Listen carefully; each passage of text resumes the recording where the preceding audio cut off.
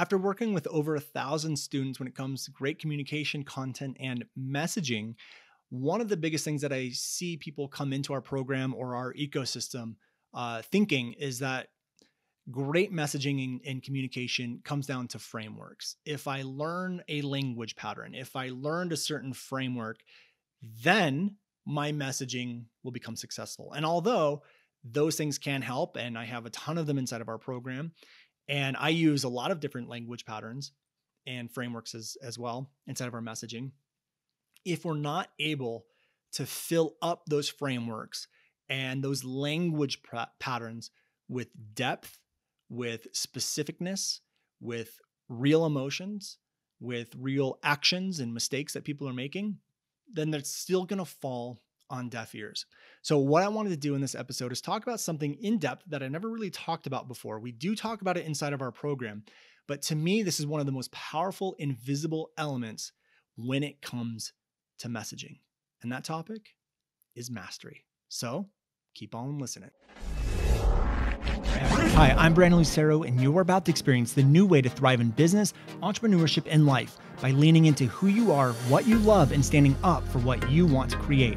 Get ready because this is where we go against the grain, say no to outdated society norms, and we say yes to change in order to create a happier, more fulfilled world. Welcome to the New Generation Entrepreneur Podcast.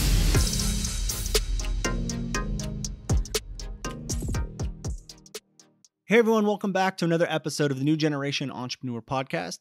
Today is my very first episode from Flagstaff, Arizona we finally made the move. Um, I don't know how much I've talked about it on the podcast, but we have decided to leave California, my wife and my family, and uh, relocate to Flagstaff, Arizona. And this has been it's been like a year long journey from the moment of deciding we don't want to be in California anymore to coming here. And um, our very first experience inside of Flagstaff honestly wasn't great uh, because we came right in the middle of winter. Everything was dead. No one was out. And we're like, oh my gosh, we thought this town was going to be amazing. Um, and then we came back in the spring. We're like, wow, this is such a different town. And now we're here in the summer and it's like an unbelievable mountain town. And we're so happy to be here. Um, so this is my very first episode. We're in Airbnb for about three weeks before we move into our um, new house. It's being remodeled. We're getting some new floors and paint and stuff done. And so um, I have a makeshift office. If you're watching on YouTube, you can see a big, huge fake plant behind me and um, some random window. But this is, will be my station for the next three weeks. And today I have a really cool episode planned for you guys. Um, we are gearing up to open up enrollment to the New Generation Mastery Program. It is our signature program. We will be opening up the doors in September. And I wanted to talk about this theme of mastery. And this is, the, you know, obviously it's the name of the program. It's called um, new generation mastery, and there's a reason why. But I haven't talked a lot about why we focus on mastery inside of the program. And today we're dedicating an entire episode to that. So I'm really excited. I'm really excited to talk about that. Um, really excited to finally, after a couple of weeks of not producing any episodes, to get in here and give you guys an episode. And um, the altitude up here is very interesting too. It's 7,000 feet of elevation, so I was telling Matt before we started recording, I'm like, I dude, I don't know if I'm gonna be able to podcast up here. It feels like I'm always out of breath. Um, so we'll see how it goes. But let's dive into today's episode. Uh, today we're gonna be talking all about mastery and messaging. And I think now more than ever, mastery is a necessary part of messaging. And I think a lot of the reasons why people are not making sales, are not getting their content seen, are not feeling like they're being heard, or um, aren't just able to stand out, is because they actually lack mastery inside of their content, their messaging, uh, inside of their brands, and inside of their their companies. And here's kind of what I mean by this. Um, just to kind of break it down is that what happens with most people is is when we have an an education style business so you're like a coach or you sell an online course or you have a program or you're teaching some kind of expertise or you're teaching your knowledge or selling your knowledge, selling information. One of the biggest problems is that with content and sales mechanisms like webinars, your your copy, um, just everything that you put out stems more from education than it does experience. And I think now it's becoming more of a problem. And the reason why it's becoming more of a problem is because more and more people have the same education. And when you're an expert and you have the same education as everyone else, the same certification, the same bachelor's degree, um, the same higher level of education, and then you try to teach all of that education, well, then you sound the same as everyone else because you're not teaching anything new. You're more in what I call the regurgitation mode. And you're just regurgitating things that you've already learned, which, by the way, is totally fine. And again, I might say things on this episode that are going to be a little triggering to you, to some of you, maybe. And it might be because you feel like you're being called out. Now, I, I want to just go out and say everything that I'm going to say on this episode is not an absolute. Okay. So it doesn't mean just because you only have education, you're not going to be successful. And it doesn't mean that if you have more experience than someone else, you're also going to be more successful. I'm talking more in um, a little bit of a generalization, but this is from my own experience and people that I'm watching online. The more the someone's blowing up, the more that someone's content is like hitting people really deep, the more experience that person is is teaching from. Does that make sense? They're well, they're teaching more from their experience. And again, when we go to base all of our stuff off of education, certifications, bachelor's degrees, all of that stuff and you just regurgitate it, you start to sound like everyone else and you actually lack some depth in things that you start to talk about. So you you don't understand the struggles or the emotions or you're not going to understand what problems may occur. You're not going to understand the emotions of that people have to go through when they go through a specific problem because you don't have that experience yet. And if we are only focusing on teaching and teaching and teaching and basing that teaching from our own education, we definitely put ourselves at risk of sounding like everyone else. And so I want you to imagine for a second you just graduated college. You got your four year degree, and let's say there's a hundred people that went through the same classes as you, they have the same education as you, they had the same professors as you, and all 100 of you go out into the field and someone comes up to 100 of you and says hey i want you guys to create an online course create content build a brand online on this topic that you just got your bachelor's degree in. Out of those 100 people how how many of them do you think are going to sound the same probably all of them because the only thing that you can base your content on is the education you just got.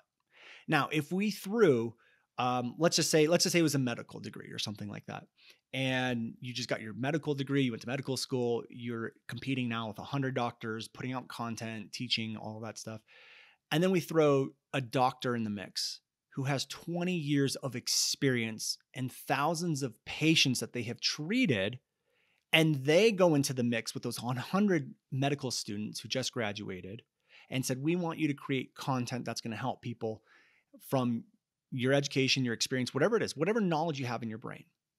I'm willing to bet, like if I was a betting man, I would put my money on the doctor is going to create deeper, better content that's going to speak to people deeper. It's going to help people deeper. Why? Because he has the experience of 20 years, thousands of patients.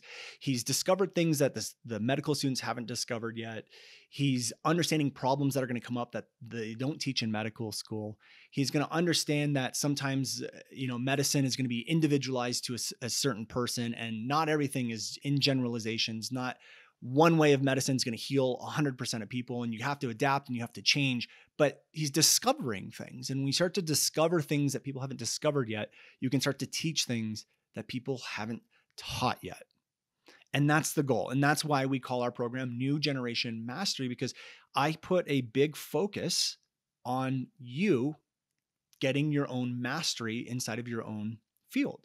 And this is coming down to this when when you have it you have better communication you have better messaging, you have better content, and honestly, you become a better teacher and you have a better program. So, a part of building a business in this type of field, when you have online programs and courses, is you also need to have a really good program that other people can't touch. Because that's when we start getting things like word of mouth. People start sharing your work.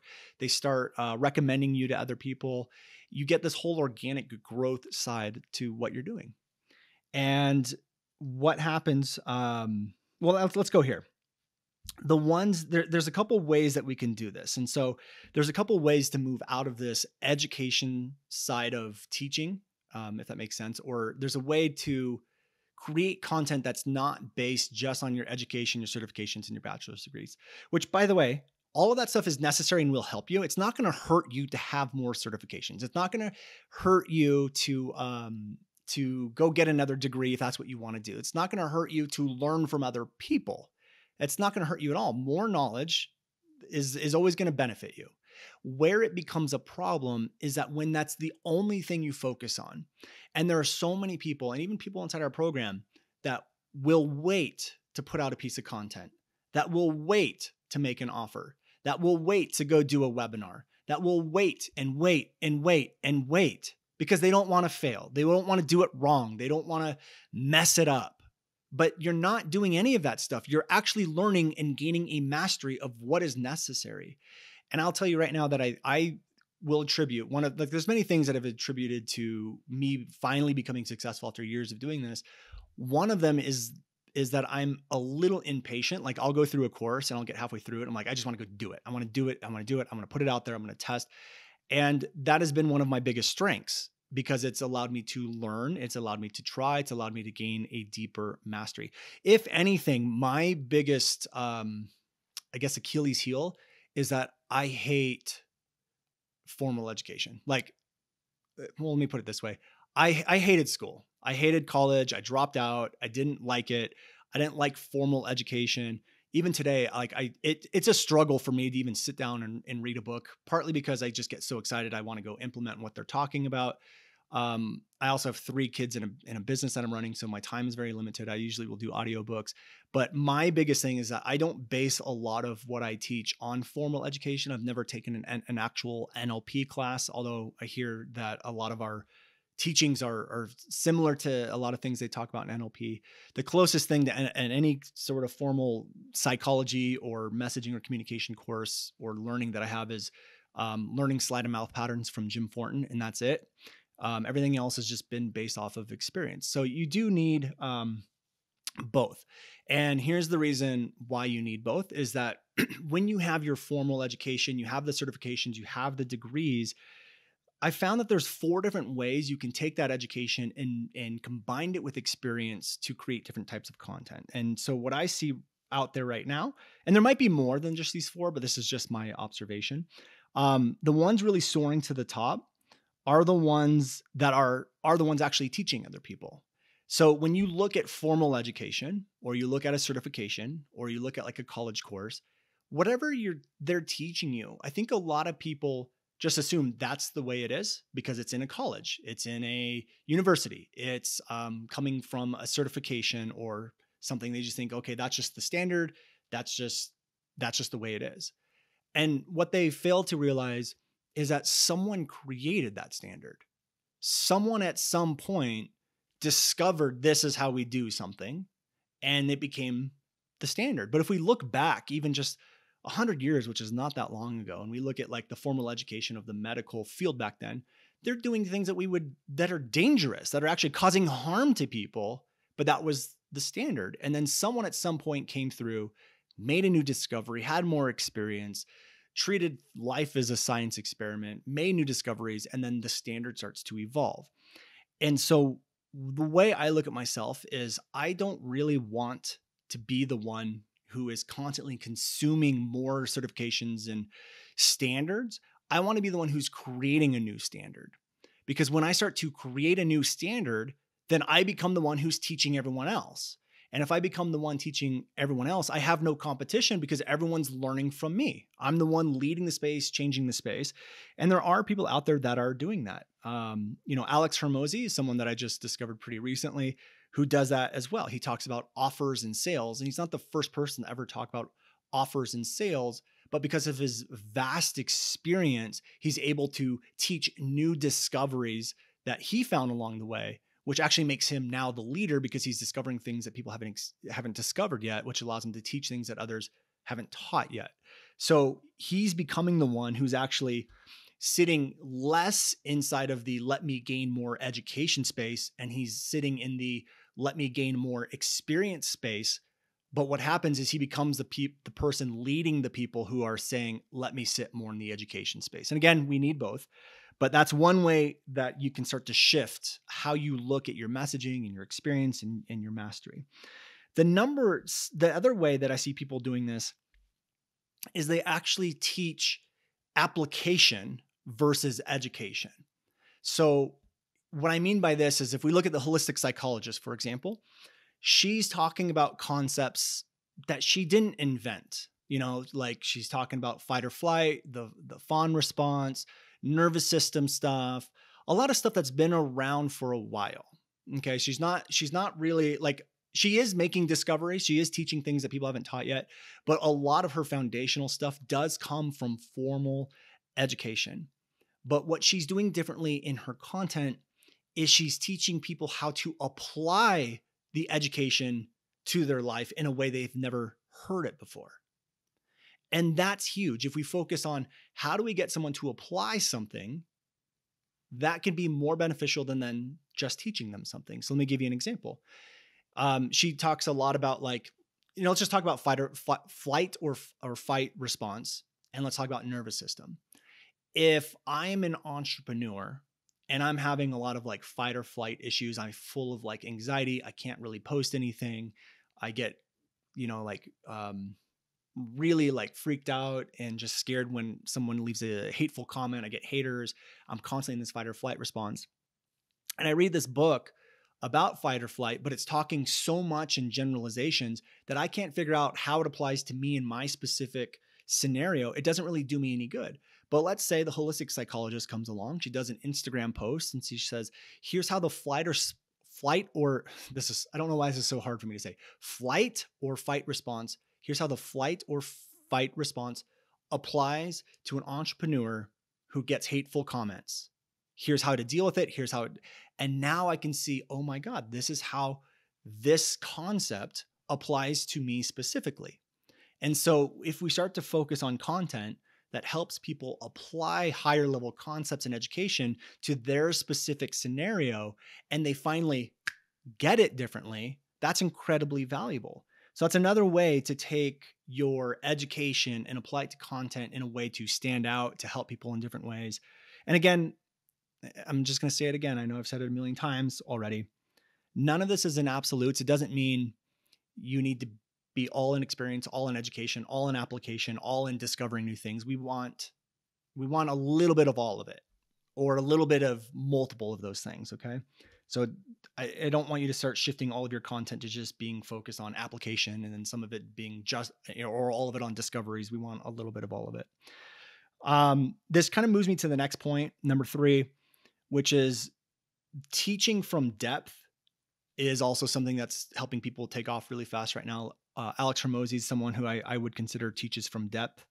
And when we, and here's what I mean by teaching from depth is that we help people realize things that they haven't realized before. And this is kind of what thought reversals do. Um, this is just bringing, you know, realizations to people like why problems exist in their life, why um, um, they're not able to do something, uh, even though they've tried a million times. Um, it's going back, even what I just talked about earlier is giving them realizations they never realized before is how higher level concepts apply specifically to them is another way to do that. But if you give people these ahas, it's another way to take education and move it to a way that's going to help you stand out. And then the last one is again another one that I've talked about, which is making uh, new discoveries that people haven't discovered before, and also combining things that haven't been combined before is another way that I've seen people take education and apply it to something new. Uh, so to give you an example, Jim Fortin obviously is a good friend of mine. He was one of my first mentors.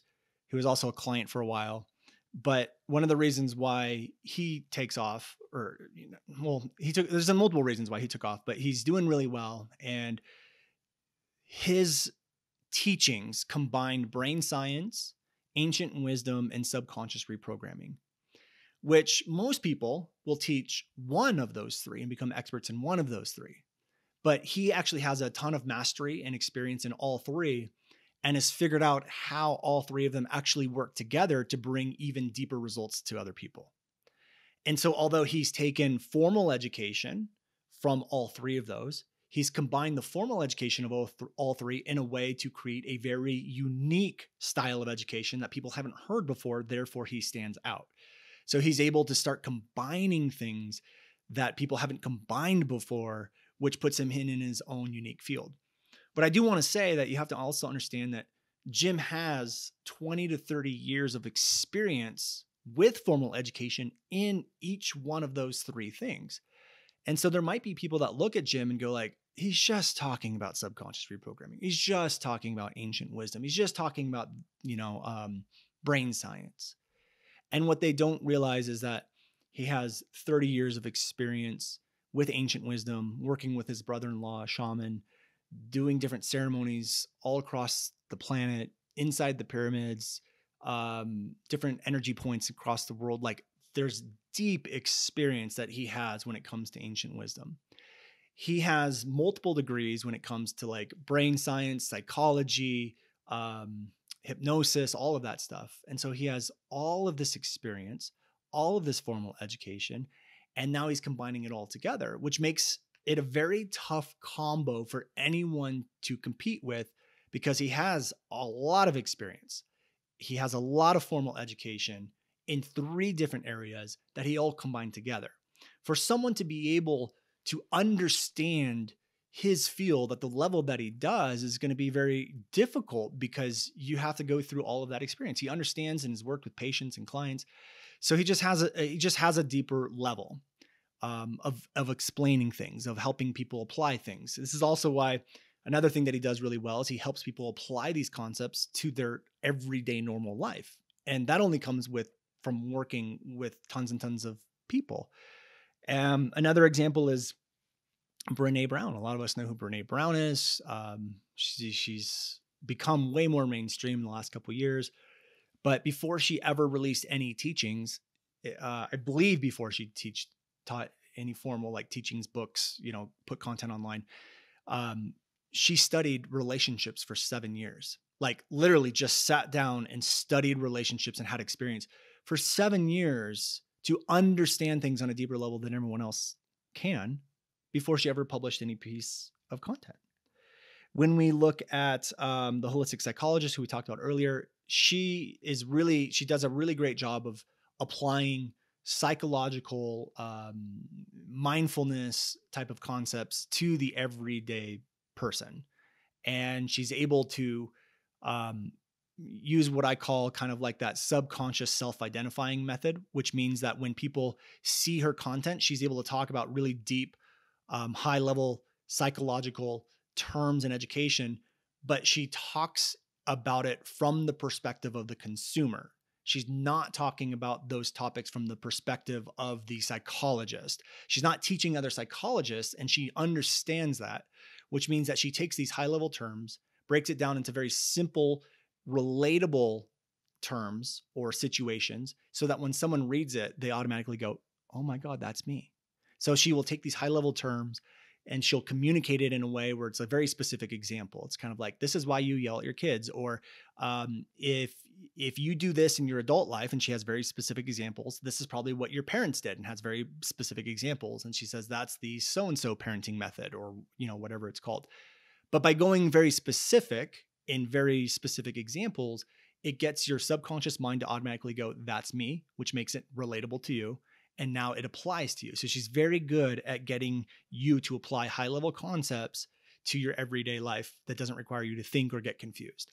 Uh, Alex Hormozi is another person who has a lot of experience um, selling programs online. He's one of his companies brought to over 100 million dollars a year, and he's really fine tuned the science of offers. Again, it comes from experience. He's able to talk about offers and frameworks of offers and a process for offers and um, a lot of in his book he has a lot of like worksheets that you can go through to dial in every element you need to create a really good offer but that comes from years of experience okay and what all of this boils down to is what i call mastery and i think because the field our our industry is growing so fast because covid took a lot of offline businesses and had forced them to move online. So we have a lot of like yoga studios who couldn't bring in people so they'd go online. We have a lot of like uh, doctors who couldn't see patients anymore, so they created courses and programs. And the awareness of online content went through the roof because people are now we're stuck at home going online watching youtube videos learning new skills.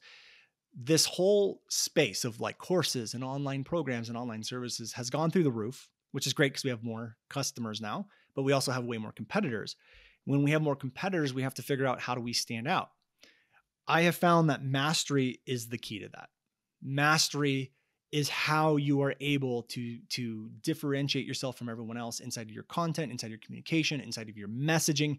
It's how you become relatable to people because you understand what they're thinking. You understand what they're literally doing. You understand what mistakes that they're making. You understand the um, exact emotions that they're going through. So remember when I just talked about the holistic psychologist, she was giving very specific examples. The only way you know what those examples are is through experience and through your level of mastery. So when I communicate, when I do like a workshop or I write a piece of copy or I write an email or I write whatever, I'm always looking at what concept am I talking about and what are people actually doing, thinking, and feeling when it comes to this concept. And then I'm going to write those specific examples inside of my copy. I'm going to use them in my communication because what it does is it pulls people in.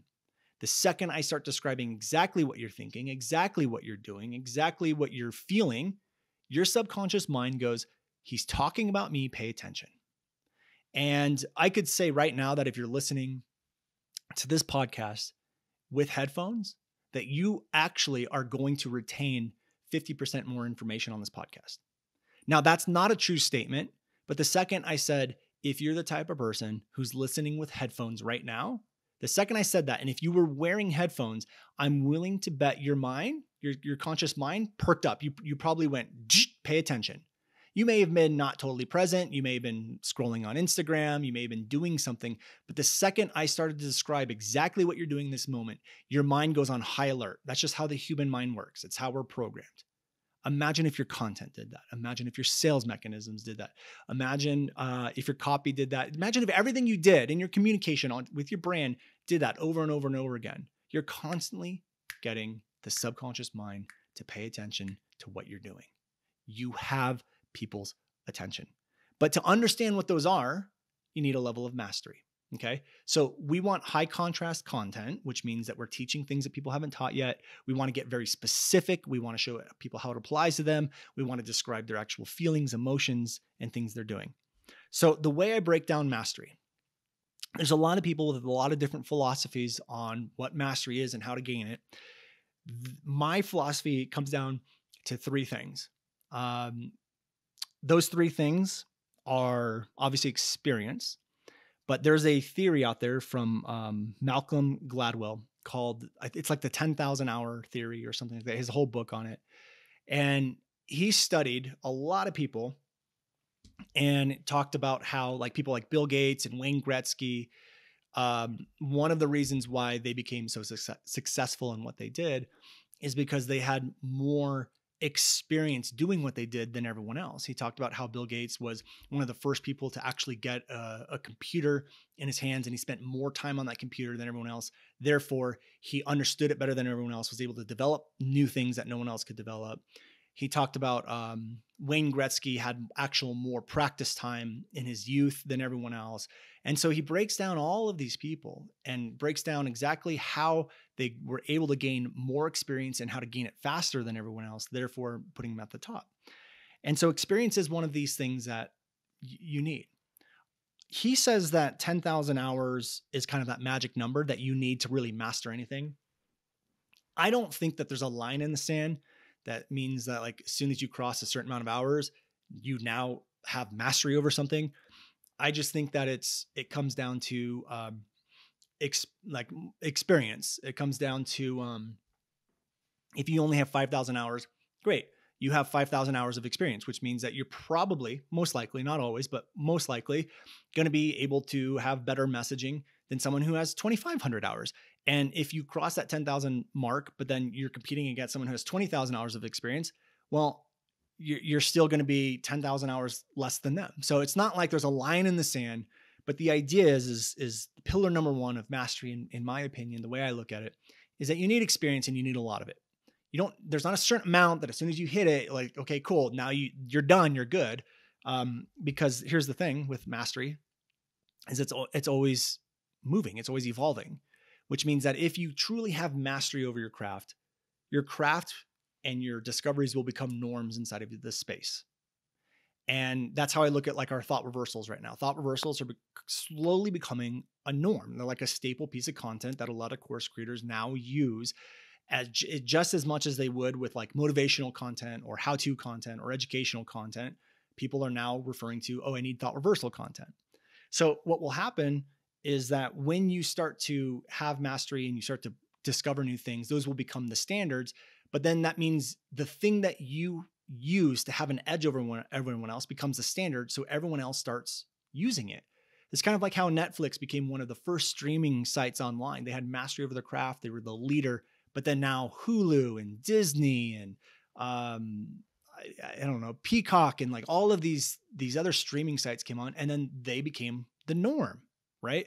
So then what Netflix did is they started producing their own content.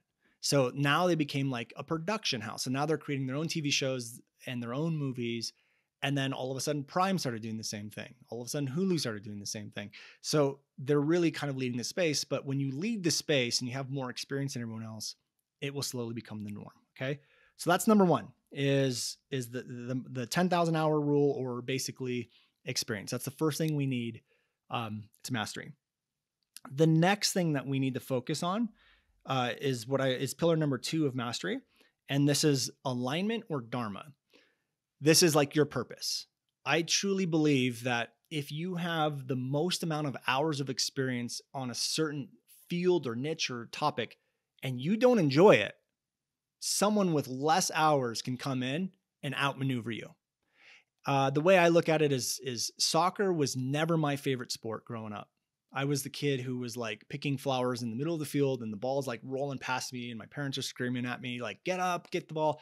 Hated soccer was not my sport but I love sports. I'm very active and and athletic, and I loved baseball. And I ran, obviously, a lot of you guys know this cross country and track, and soccer just wasn't my thing. So if I had 20,000 hours of experience and practice playing soccer, and someone had 10,000 hours, and they love the sport, they they just ate it up. Every single minute of their their day was focused on soccer. That's their purpose that's their alignment that's where they should be at they just have a they might even have a natural skill to that to, to soccer. And typically what i find is when you have a natural skill to something you generally start to like that thing. And so it doesn't matter if i had 20000 hours more than someone else i didn't have a natural skill for soccer it wasn't really something that i enjoyed someone with less hours will be able to come in and become a better soccer player because they're just naturally gifted at it it's what their purpose is it's what their alignment is. And so there are a lot of business owners out there right now who are struggling with their messaging and struggling with their content because they're in the wrong industry. They haven't realized they need to pivot, they need to shift, they need to change. And so in 2017, when I was teaching YouTube and teaching Facebook, I realized I I don't like this. I don't like it anymore. it doesn't matter how many hours or how good I'm at it, at how good I am at like ranking videos and talking about YouTube marketing. I don't want to do it anymore. And if I don't want to do it, I'm not lit up by it and I'm not passionate about it, it will reflect my content. It will reflect my passion. It will reflect how I show up for my students. It will reflect how often I push out content. So you have to pay attention. If you want true mastery over something, you have to pay attention to when it's time for a pivot. You have to pay attention to your dharma, your purpose. You have to be in alignment with, with what you're doing. And when you combine those two things together, you start to take off faster than anyone else when you have a lot of experience in something that you're lit up by and passionate about. Um, and what I will say is that you have to understand that purpose for most people is not one thing. And I think we're sold on this idea that we need to find our purpose and our life is centered around one main purpose. And from everyone I've worked with and from my own life, I've found that to be exactly the opposite of what actually happens. And the example I give is like when I was five years old, my purpose was not helping people with messaging and communication and finding their power and all of that stuff. My purpose when I was five years old was to do whatever I did when I was five years old play in the dirt, go have fun, learn, whatever. That was my purpose in that moment My purpose has shifted, has shifted multiple times, and it will continue to shift. My purpose in this moment right now is also to be a parent to to three um, wild, crazy kids, and I know that when they get older, that won't be my purpose anymore because they will be off living their own lives. And so purpose always evolves and it will evolve inside of your business. And sometimes if you're stuck in a plateau, your content's not really hitting, it's because you're either doing something you've always done, you're doing something that makes you money, um, eh, um, or you you're doing something that you have a lot of formal education in and you feel like you need to stick with that because you dedicated most of your life to it, which I, I actually find a lot. A lot of people have degrees in certain things that okay, I'm gonna go off on a tangent because this to me this is such BS. I don't understand how an 18 year old is supposed to decide what they want to do for the rest of their life. And that's the way the education system is set up. That's how college is set up is like, even if you don't know what you want to do, go to college, pay like a $100,000, decide what you want to do for the rest of your life. And I just don't understand how an 18 year old is supposed to decide to do that. And what I find is a lot of people will make a decision, then they come out of college, they're paying off student loans, and then they feel stuck and forced and obligated to do what they got their degree in, which was something they decided when they were 18 years old. And when you're 34, 35, 40, you, they still feel forced to do the same thing because now you've dedicated another 10 years of your career towards towards it. And then people end up living miserable lives. Well, that, that might that might be too harsh, but they're just not lit up to wake up every morning to go do what they want to do. And one of the best things I've ever done is listening to what I want to do, what feels good, and just go and do it. And the money has has always followed. And so we need to stick into alignment and with our dharma and not get so caught up in what has happened in the past. We don't let the past dictate our future, and your purpose will always change and evolve. And I do find that when you listen to it, you sit in the silence, you quiet the thinking mind, and you do what you feel is best and what you want, you let your intuition guide you you typically will go into an area where you blow up really fast. And that's kind of what happened to us about four years ago as I shifted what we were doing. And I didn't get stuck in what I had been doing for the four years previous. And we kind of blew up to the level we're at now. So those are the first uh, two things. There's the 10,000 hour theory or experience. Uh, there's also making sure that we're in alignment or following our dharma um, or our purpose in this moment. And then number three is something that I think a lot of people um, miss or no one really talks about, which is um, it's either just I I call it improving change, but you can call it discovery, which means that you're in an, an area or field that you have a lot of experience in. Um, you are in per- your purpose and your dharma and your alignment, but you're also looking at how you can improve the space. You're looking at what are the standards? Do those standards cause problems? Why are problems existing for people? How do I create a new method? How do I create a new framework? How do I create new IP? How do I create something different that is better, faster, easier, um, helps people on a deeper level? And we start to improve our space. So if you want mastery, you got to have the experience because without the experience, you can't go and improve anything. You can't go see what what what needs to be improved or how to improve it. You also need something that you are aligned with. And when you start to combine all three of these things together, you start to have a level of mastery. It starts to make you a little bit different. You start to communicate things different. You're making discoveries. You're able to talk to the emotions and the mistakes and the feelings and the actions that people are literally making right now because you have all of that experience. You're lit up. You're here to help. You're here to serve people because you're in your alignment and you're in your purpose. It comes natural to you. It comes easy to you. You just get things. You can see things that people can't see. Kind of like how I look at messaging. The way I'm mostly self taught, I'm like, I would say I'm 95% self taught because I would read a book and I would look at how I'm feeling and I would say, what did the author do to make me feel this way? And I go, oh my God, that's what they just did. So I'm able to see things that other people can't see when it comes to messaging. I just get it. I understand how to communicate. I don't have any explanation other than I just get it. It's just how my brain works. I see it, I understand it. And then uh, with the improving change, I'm able to discover new things. I look at how do I create a framework around this, a methodology around this? How do I create a new standard inside of our space? And that is mastery. When you have all three of these things together, you're able just to hit a whole different level that people can't hit. And the reason why I wanted to do this uh, was because I think this is one of the most vital, or one, of the reasons I want to talk about this on today's episode is I think it's one of the most vital um, elements to great content, messaging, sales, um, and in communication. But it's one of the things that most people either skip, are not aware of, or don't talk about. It's one of those like big, huge, like gorillas in the room that no one really seems to address or knows that they need to address.